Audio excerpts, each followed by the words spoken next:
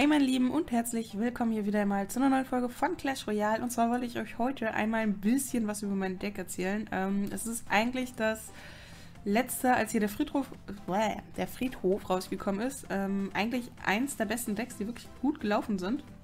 Ich bin jetzt am überlegen, ich weiß nicht, was ich vor den Elektromagier drin hatte. Ähm, allerdings muss ich sagen, dass ich mit ihnen relativ gut spielen kann interessanterweise, er auch echt eine mega coole Karte ist. Und ich doch wirklich sagen muss, dass sich das alles zusammen doch eigentlich schön anfühlt, ist auch blöd gesagt. Also wirklich eigentlich ein klasse Deck ist. Und ähm, ja, ich spiele zwar im Moment ein bisschen, also ich komme mal hoch, mal runter, so von den Pokézahlen her, aber ich glaube, das hat auch sehr, sehr viel mit mir zu tun.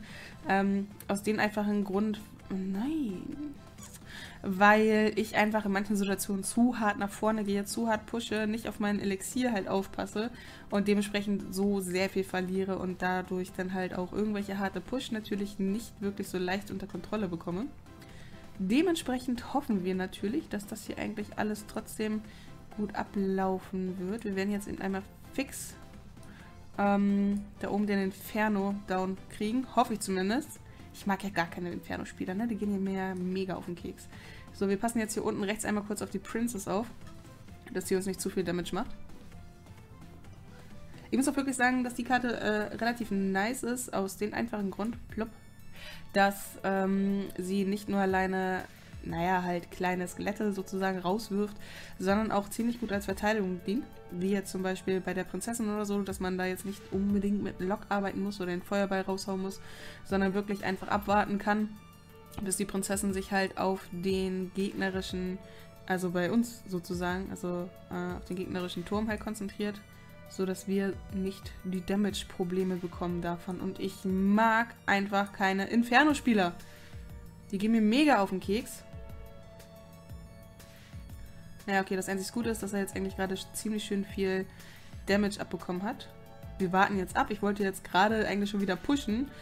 Muss ich aber abwarten, weil der Herr von uns so ja einen wunderbaren Schweinereiter besitzt. Das bedeutet eigentlich, wir fangen hier einmal fix mit den Elektromagier an. Und setzen hier einmal unseren Grabstein hin und hoffen, dass es so funktioniert, was ich jetzt gerade vorhabe. Und zwar haben wir jetzt auf jeden Fall schon mal den Schweinereiter gut abgeblockt. Könnten mit Glück mit unseren Riesen jetzt nach vorne pushen. Ich weiß jetzt hundertprozentig, kommt dann gleich wieder genau da der Inferno hin. Aber unser Riese, oh, ich bin so stolz auf unseren Riesen. Ähm, war ihm das egal und pusht da jetzt schön unten durch. Der Inferno Tower ist eigentlich auch gleich mit down. Wir müssten eigentlich... Na komm, na komm, na komm, ich vertraue dir. Yay! Es hinbekommen. Scheiße, eigentlich. Normalerweise hätte ich auch noch unten jetzt drauf achten müssen. Auf unseren... Ah, ähm... Blub. Auf unseren wunderschönen äh, Elixiere, weil ich natürlich jetzt... Na, na, na, na, na, na, okay, das war jetzt gerade mehr als Glück gewesen. Wie viele blöde Viecher von denen jetzt da einfach nur mit dabei sind. So, ich muss jetzt einmal aufpassen. Wo ist sein... Kommt er jetzt nicht, oder was? Toll. Das ist nämlich das schon wieder, was ich meine, da wo ich natürlich ein kleines arges Problem habe. Dreh dich wieder um, mein Freund. Ähm, dass ich dann einfach zu sicher bin und denke so, ja, okay, hey, komm, das läuft schon, das wird schon irgendwie klappen. Problem an der ganzen Geschichte ist, dass ich dann einfach zu schnell und zu doll pushe und das ist natürlich ähm, wirklich ein arges Problem. Okay, das ist okay. Elektromagier mit nach da oben. So, jetzt muss ich allerdings aufpassen. Na, wo ist denn jetzt sein blöder Inferno-Tower? Ach, den setzt er gar nicht mehr. Jetzt, jetzt macht er den gleichen Fehler wie ich. Der pusht zu hart, der liebe Herr von uns zu. Na, Mann, ich wollte euch das so gerne erklären, wie das hier mit diesem Deck wirklich funktioniert, um euch das einmal zu zeigen, dass das wirklich ein cooles Deck ist und wenn man ein bisschen abwartet und nicht so gleich nach vorne pusht, dass es ähm, wirklich cool ist. Okay, hier wird auch schon die ganze Zeit schön getestet und gespielt. Ähm, ja, das ist natürlich relativ unschön gerade. Aber äh, ich hoffe, ich konnte euch das so halbwegs ein kleines bisschen zeigen oder ein bisschen erklären, wie dieses Deck halt zu spielen ist. Was ich auch noch sagen will, ähm, in zwei Tagen, beziehungsweise wenn das Video rauskommt, in einem Tag und 15 Stunden beginnt die Banditen-Herausforderung. Da ist mir aufgefallen, dass es auch was Neues gibt, und zwar die Meilenstein-Belohnung.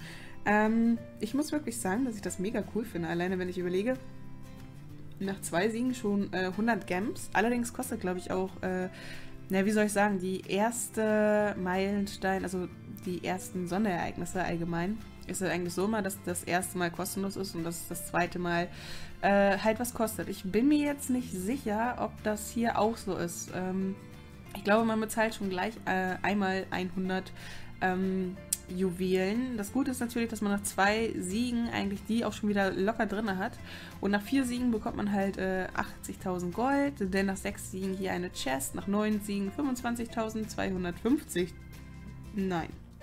25.000, ich wollte gerade schon sagen.